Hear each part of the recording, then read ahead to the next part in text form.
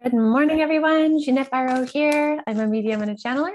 And welcome to your weekday daily card reading where we dive into the cards, see what's in store, what, see what messages Spirit has for us.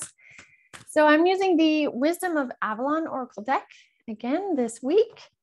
And um, yeah, I wonder how things are going for you. We're midweek this week or midweek today let's see what's in store. We've had some interesting messages about like really recognizing what is coming up for us and really choosing what we're doing in this very movement based week so far. So let's see what they have for us today. All right, I'm going to do one more shuffle. All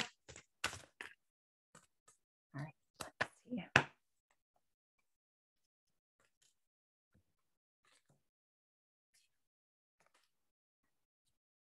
Interesting. Okay, I like this. So what we have is, first of all, the swan, which is transformation.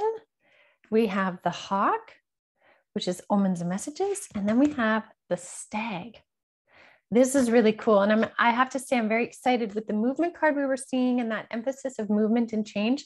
To see then the swan card, this is a really beautiful one. This talks about transformation and trusting your psychic gifts.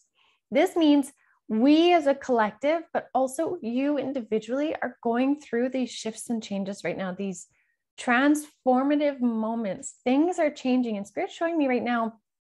You know, like the whirling of galaxies, when you see that, where it's like whirling down almost like a funnel, but it's whirling around. They said the amount of change we're going through right now in the collective, obviously, is their word, in the collective, obviously, but as well, the individual is also having this swirling change where they really are within that transforming into new. And I'm being shown that it's also like cellularly too, energetically, like so much is changing within us, almost like they keep showing me too, you know, the Cinderella scene in the movie where, you know, the fairy godmother does her thing and then you see all these stars and she kind of whirls around and then she's transformed.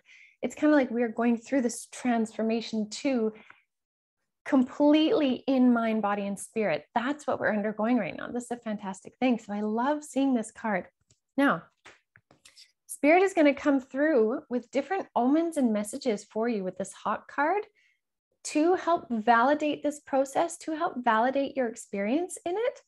Um, so that you can feel assured as you move through the steps remember we had the novice card on monday and that novice card is kind of like shaky first steps, new beginning, new perspectives. So it's kind of unknown. So we're a little bit shaky, a little cautious. Spirit's going to bring through more messages for you, for us as a collective, so that we feel more supported as we're taking those kind of shaky first steps within this whole world of movement. And what that is doing really is bringing us to this energy of the stag, which is pride and leadership, which is our ability to hold our head high and show up as we are, our ability to be like, yes, this is who I am.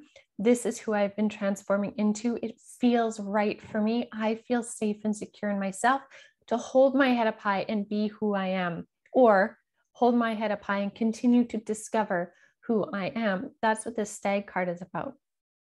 So it's really beautiful because it's saying use the momentum of the energies at play right now and allow the transformations to happen for you.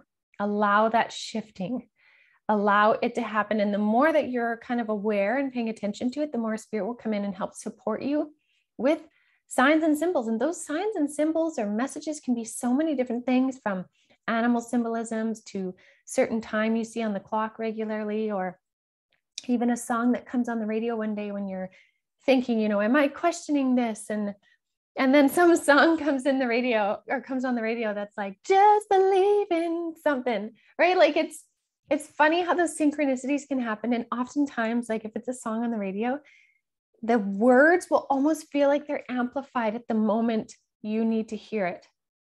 It's so amazing how that can happen. And again the more open and aware we are the more we can receive those omens and messages in the many many beautiful ways that they can show up so I hope that inspires you guys for today. Happy Wednesday. Enjoy your day. Do check out avalonspirit.com as well.